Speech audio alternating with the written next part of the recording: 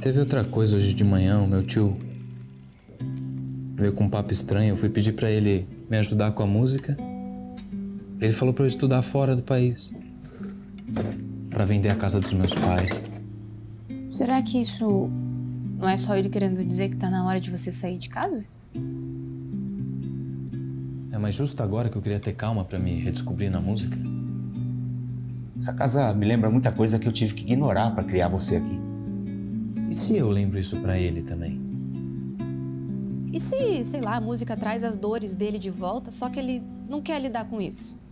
Que isso? Como que eu falo tudo isso para ele agora? Aí é com você, né?